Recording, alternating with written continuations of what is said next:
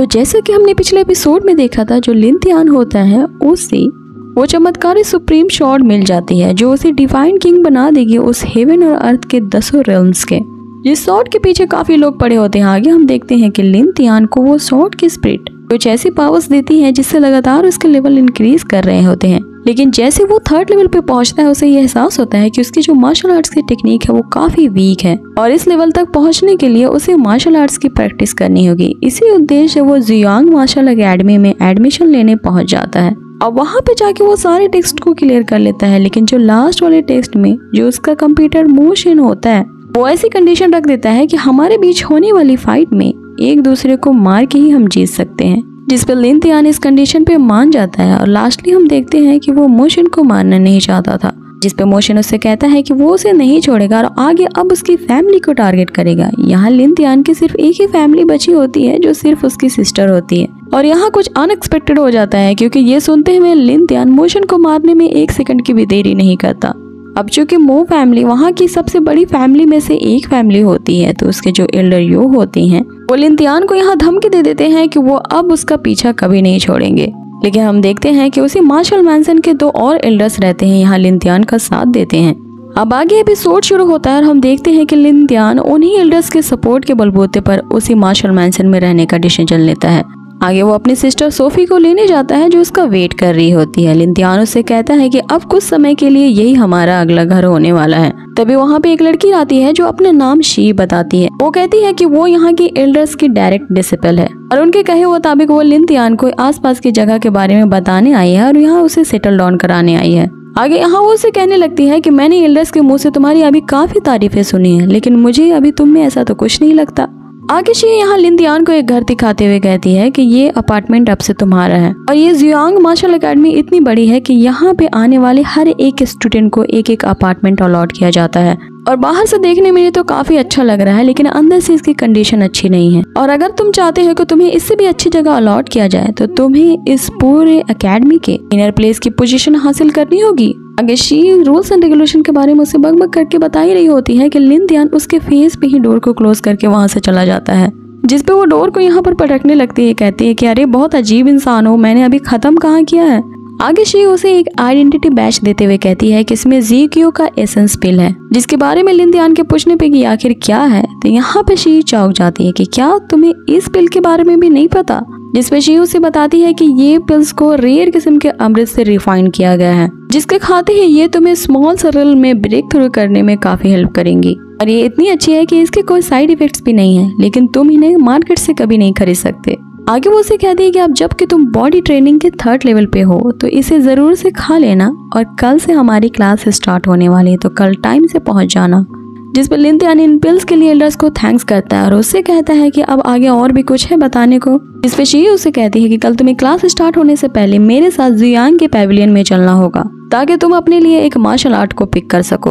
अब ऐसा कहते हुए वो वहाँ से चली जाती है और हमें नेक्स्ट डे का सीन दिखाया जाता है, जहाँ वे दोनों वही पेविलियन की ओर जा रहे थे। यहाँ लिंतियानो से कहता है कि तुमने मुझे जो पिल्स दी थी वो काफ़ी इफ़ेक्टिव थी, क्योंकि रातों रात मैंने दो लेवल्स पे ब्रेक थ्रू कर लिया है, जिसपे शी कहती है कि क्या कहा तुमने? तुमने दो बार ब्रेक थ्रू कर लिया है, और अब बॉडी ट्रेनिंग की फिफ्थ पोजीशन पे पहुँच चुके हो, क्योंकि ये तो बहुत ही एबनॉर्मल है, क्योंकि आज तक कोई दो लेवल्स को एक ही साथ क्रॉस नहीं कर पाया है। आगे वो उसकी डायरी ले लेती है, जिसमें उसने नोट्स लिखे होते हैं तो उसे पता चलता है कि उसने शेडो फायर फिस्ट की टेक्निक को अचीव किया है, जिसपे लिन दियानो से पूछता है, क्या ये टेक्निक पावरफुल नहीं है?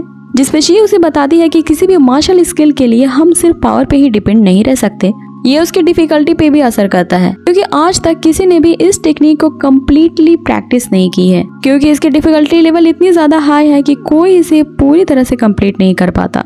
अब शी ये सब उसे बता ही रही होती है कि तभी हम देखते हैं कि वहाँ पे एक लड़का आता है, जिसे देख के शी लिंगतियान के पीछे छुप जाती है। और लड़का उससे कहता है कि मैंने अपने फादर को हमारे बारे में बता दिया है और आज के हमारी फैमिली डिनर में हमारे फादर तुम्हारी फैमिली से बात करने वाले हैं। अब इस बात पे शी यहाँ पे चिढ़ जाती है और उसे कहती है कि मैं तुम्हें अच्छे से नहीं जानती और तुम कौन होते हैं मेरी फैमिली से इस तरह बात करने वाले? जिसपे वो लड़का यहाँ शी को अप्रोच करने वाला होता है कि लिंतियान बीच में आ जाता है। और यहाँ अपना परिचय देने लगता है। आगे वो लड़का यहाँ शी से कहने लगता है कि एक बार मैं उस इनर पैलेस में एंट्री कर लूँ तो फिर मेरी रिपुटेशन और भी ज़्यादा हाई हो जाएगी क्योंकि मेरे अंदर काफ़ी ज़्यादा स्किल्स आ जाएँगे। और तुम मेरे साथ होगी तो तुम्हें भी एज प्रिंसेस की तरह ट्रीट किया जाएगा। तो क्या तुम्हें ये पोजीशन नहीं चाहिए?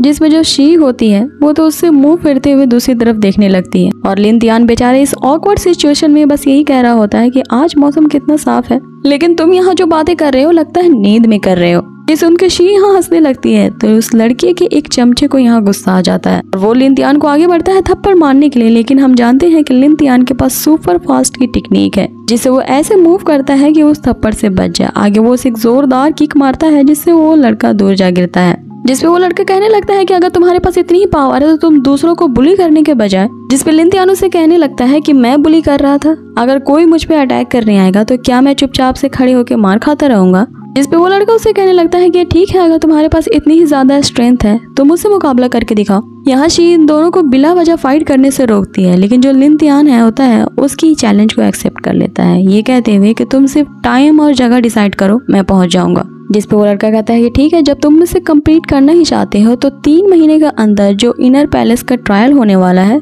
उसमें मिलते हैं। अब जो भी डिसिपल इस इनर पैलेस में होने वाले ट्रायल को जीतेगा, उसे काफ़ी सारी सुख सुविधाएँ देने के साथ साथ उन्हें ग्रैंड डिसिपल होने की भी उपाधि दी जाएगी। इस पे वो लड़का लिंदियान से ये कहता हुआ वहाँ से चला जाता है कि मिलते हैं तीन महीने बाद, लेकिन याद रखना है जो हम दोनों के बीच वहाँ जो उस ट्रायल में फाइट होगी, वो लाइफ एंड डेथ की कॉन्ट्रैक्ट होगी। उसके जाते यहाँ शिव से कहती है, गधे कहेंगे, क्या तुम पागल हो गए हो? तुम जी हुआ से कम्पीट करने की सोच रहे हो? क्योंकि ये जी हुआ इस ऑर्डर पैलेस का नंबर वन डिसिपल है। जिसकी बॉडी ट्रेनिंग के लेवल नाइन्थ पोजीशन पे है। साथ ही वो इस पूरे सिटी के कमांडर शाओ जिहाओ का इकलौता बेटा है जिसपे लिंतियान कहता है कि तो क्या हुआ? क्या ये पॉसिबल नहीं है कि मैं उससे अभी जाके माफ़ी मांग लूँ? वैसे भी मैंने तो ये सब उसे यहाँ से भगाने के लिए कहा था क्योंकि वो तुम्हारे साथ बदतमीजी कर रहा था। यहाँ शी को समझ नहीं आता है कि अब उसे वो क्या कहे। इसमें लिंतियान कहता है कि अरे कुछ नहीं होता, मुझे तो बस अभी जाके प्रैक्टिस करनी है। लेकिन फिर उसे याद आता है कि उसे तो ये भी नहीं पता कि उसे इस एरिया के किस जगह में प्रैक्टिस करनी है। जिसमें शी यहाँ उसे कहती है कि धत तेरी के अच्छे गधे से पाला पड़ा है। आगे शी उसे प्रैक्टिस करने के लिए एक जगह दिखाते हुए कहती है कि तुम्हें सचमुच में उसे फाइट करनी है, क्योंकि वो बहुत ही ज़्यादा स्ट्रांग है। जिस पर लिंतियानो से कहता है कि इससे कोई फ़र्क नहीं पड़ता, लेकिन ये तीन महीने का टाइम ना बहुत ज़्यादा है। इस दौरान तुम्हें मेरे सिस्टर का ख्याल रखना होगा। अब वो प्रैक्टिस करने चला जाता है, इधर शी सोच में पड़ जाती है कि मैंने इसके बारे में काफ़ी ज़्यादा र्यूमर सुने थे, कि ये काफ़ी ज़्यादा रूड है इसने एल्डर्स के साथ काफ़ी बदतमीजी की है। उसने उस मोशन को भी तत्काल उसी फाइटिंग सीन पे ही मार डाला था। लेकिन इसके बिहेवियर से देख के लगता है कि ये काफ़ी जेंटल है अपने सिस्टर के प्रति। आगे हम देखते हैं कि लिन अपनी फायर शेडो फिस्ट की प्रैक्टिस कर रहा होता है। अब हवा में पंच करना उसे इफ़ेक्टिव नहीं लगता तो आगे वो एक सॉलिड चीज़ के पास चला जाता है। अब उस पेड़ के तने पे लगातार पंच करने लगता है। इस तरह से वो लगातार पंच करते करते अपनी सुपर टेक्निक में पहुँच जाता है और हम देखते हैं कि उस पेड़ के तने में एक बड़ा सा होल हो चुका था। आगे वो अपनी नेक्स्ट मूव की प्रैक्टिस करने लगता है, जो कि उसकी परसिस्टेंट पावर होती है। इन दोनों की टेक्निक्स को मिलाकर वो एक ऐसा फ्रैटनिंग शॉट वाला स्प्लैश क्रिएट करता है कि उसके मात्र एक ही स्प्लैश से वहाँ पे एक बहुत बड़ा ब्लास्ट हो जाता है। ये देख के लिंतियान भी यहाँ पर हैरान रह जाता है की कमाल की बात है, मात्र सिर्फ़ एक ही मूव से ये इतना ज़्यादा पावरफुल कैसे हो सकता है? आगे हम देखते हैं कि लगातार इस तरह प्रैक्टिस करने से वो काफ़ी ज़्यादा थक जाता है। लेकिन हम वही देखते हैं कि कोई तो था जो लगातार लिन लिंतियान पे नज़र रखे हुए था। और जैसे लिन लिंतियान की नज़र उसके ऊपर जाती है, बूम, हमारा एपिसोड यही हो जाता है फिनिश सो so गाइस इस सस्पेंस के साथ कि कौन था जो लिन लिंतियान पे नज़र रखे हुए था? या तो वो कोई उसका दुश्मन हो सकता है या फिर उसका दोस्त। ये हम जानेंगे इसके नेक्स्ट एपिसोड में। तो जाने से पहले आप लोगों से एक रिक्वेस्ट है कि वीडियो जरा से भी अच्छी लगी हुई ना तो प्लीज़ इसे लाइक कर दें। और अगर आप मेरे चैनल पर नए होना तो इसे सब्सक्राइब करना ना भूलें ताकि आपको इसी तरह की अमेजिंग अमेजिंग सीरीज़ का इंटरटेनमेंट मिल सके।